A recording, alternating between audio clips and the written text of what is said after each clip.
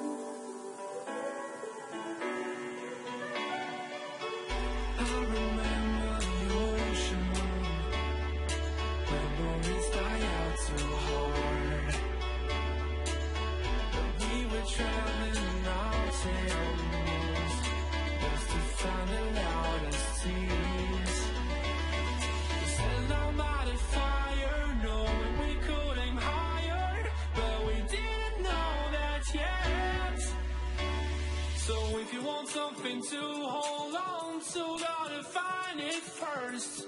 But here I am, cause I've been laying under palm trees, waiting for the summer, knowing there's nowhere to go. Cause I am happy on this island. Whoa.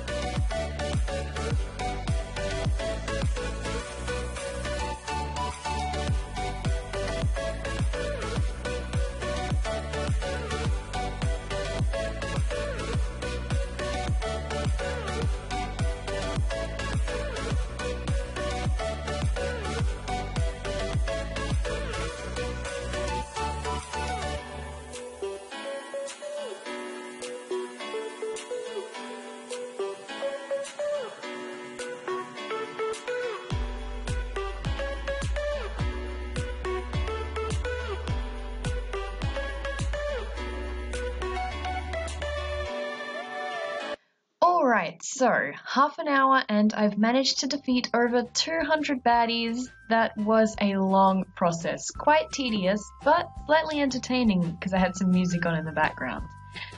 So, after defeating all of those baddies, I've actually accumulated quite a fair amount of goat tokens. In fact, I have 23 of the things. That's insane, and all it took me was half an hour of tedious grinding.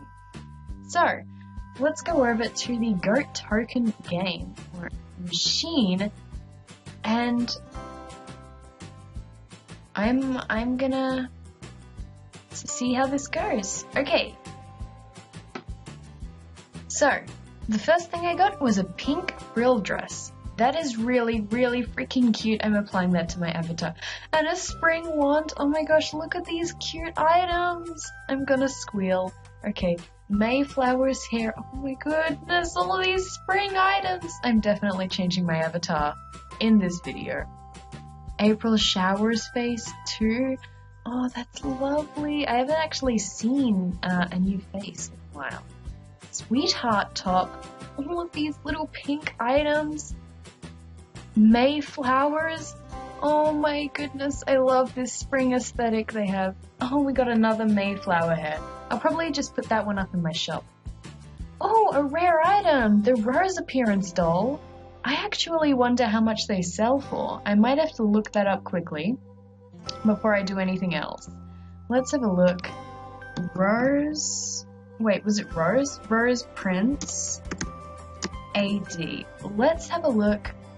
Oh my goodness, 300,000 sugar stars. Hell yeah. I'm putting that up in my stall.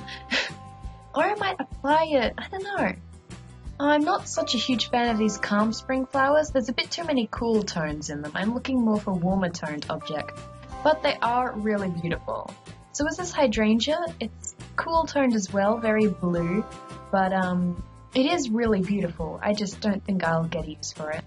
I already have this window veil, I think from last year when I did this. I wasn't really playing Goatlings that much last year and the year before during spring. So getting this window veil now, um, and previously, it's kind of interesting. Flower earrings. Once again, I think I got that item last year. I could be wrong, but I think I did.